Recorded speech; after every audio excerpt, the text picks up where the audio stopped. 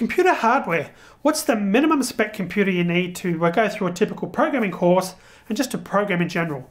Let's talk about that in today's video.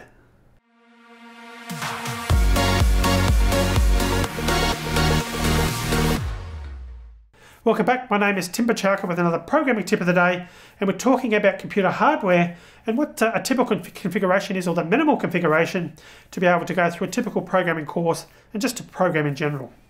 Well, I'd say in general these days that most modern computers that have been uh, manufactured over the last three or four years, be they Windows machines, Linux machines or a Mac, you should be fairly safe with those.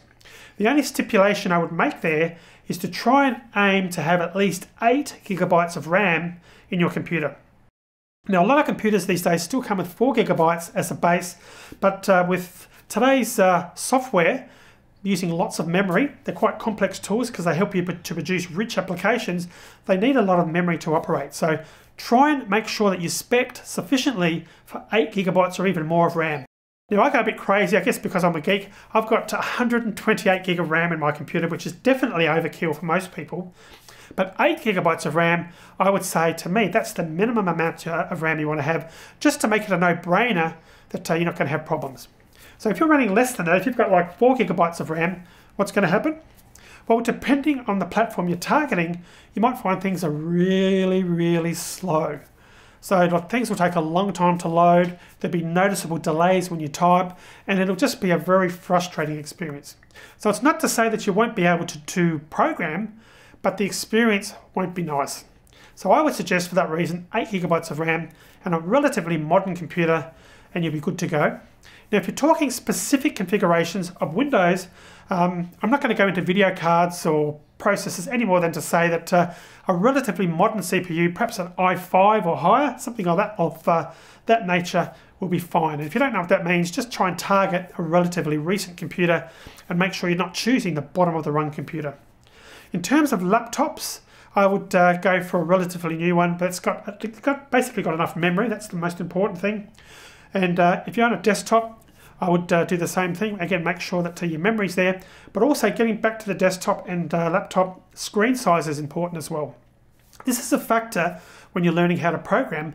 The more screen real estate you've got, in other words, the larger the screen, the better it's going to be. Because you've got to factor in that uh, you're going to be watching a video and hopefully typing along. So it'd be great if you had uh, a monitor and a sufficient resolution to be able to watch the video and to have enough space left on your screen to be able to type it in. Now it's not to say you can't watch a bit of the video, pause it, and then tab over to your uh, your IDE, the editor you're using to type in the code, and do it that way.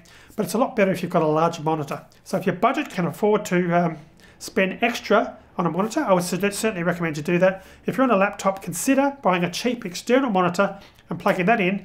That way you can actually watch the video on the external monitor and do your programming on the laptop uh, screen itself. And likewise for a desktop, if you've got a, if you haven't got a large monitor, consider getting a second one or invest in a larger one. But obviously see how you go first. But in an optimal scenario, I would suggest you had two monitors or one monitor large enough, large enough that you can actually see both things at once.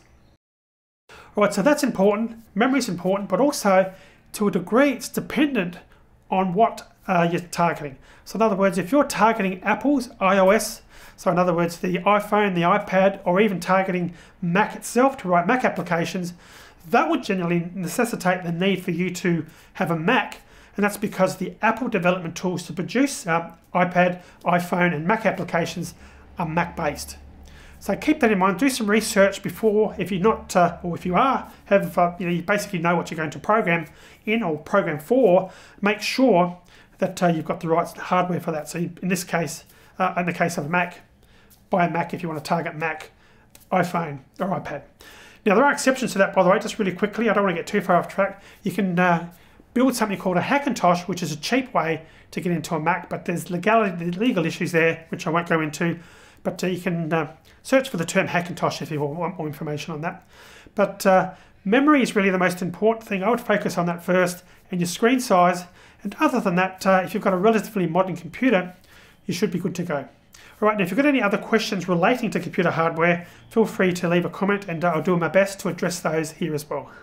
Alrighty, so I hope that helped. If you've got any questions, feel free to leave a comment and I'll get back to you. If you're ready to look at the next tip, click on up here and you can check that out. If you're interested in coding specific programming videos, click on the link in the bottom left hand corner. Consider subscribing by clicking on the link up here and I'll see you soon.